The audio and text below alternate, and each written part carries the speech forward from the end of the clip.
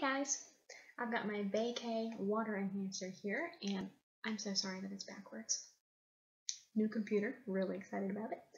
Um, I just want to do a quick video on this. I have not tasted this. I just opened it right now.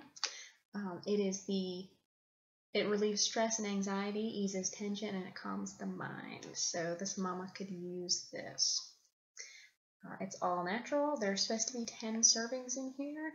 Again, I've never opened it. I have no idea what we're looking at, but I do have roughly a glass of water in front of me that I'm going to put this in. Ooh, it smells like um, 4C iced tea mix. I haven't had that since I was a little bitty. A serving size is half of a teaspoon. I've got a quarter teaspoon here because I'm too lazy to go look for my half, so I'm just going to do this twice. One, two, it looks like 4C. That's funny. Okay, let's get this in here, and I, since I have not tasted this, I don't know how well it works, I'm going to put that in the description. I'm also going to put, that is some, it looks really thick, it's not, it just colored the water.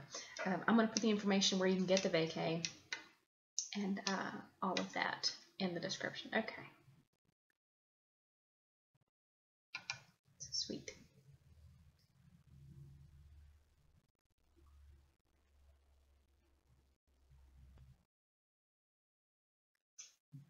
Island lemonade is what it's called. I was gonna say I don't really have a whole lot of lemon flavor here, but I can taste fruit and that would be lemon. It's not overly sweet. Um, I really do actually like it. Um,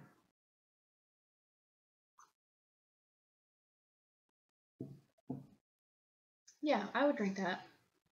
Um, again, there's 10 servings in this little packet. I would probably actually only use a quarter of a teaspoon. I put the whole half in there just to see how it is, but I would probably do the quarter.